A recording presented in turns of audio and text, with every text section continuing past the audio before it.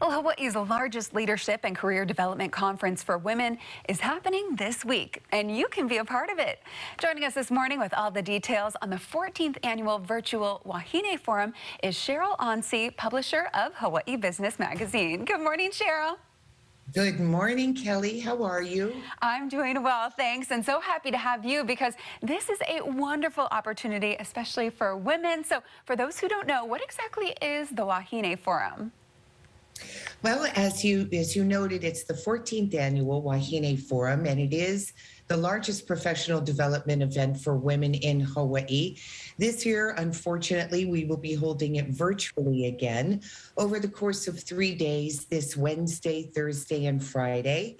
Um, we'll start at 7.30 in the morning with uh, Wake Up Wahine, which is a little bit of a yoga, meditative um, way to start your day. And then we'll launch into a full series of panel discussions and interviews um, covering a very wide variety of topics. Wonderful. And, and can you give us a sneak peek of what some of those topics may be?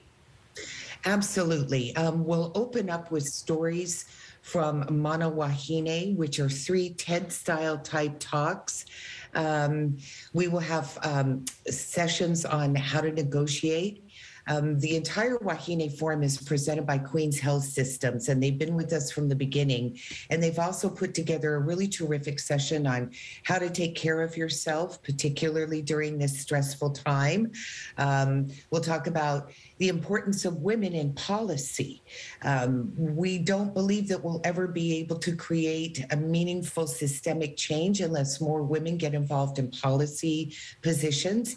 So we'll talk about that. We have over 14 sessions and over 40 women leaders in Hawaii speaking at the conference, also including a really great interview by Robbie Dingeman with Pat Saiki, who at 90 years old has so much to say um, and so much to teach us. It's really terrific. Oh, that's going to be wonderful. So, for those who are interested in learning more, finding out more information, or for registering for the forum, where do we go? How can we get more info?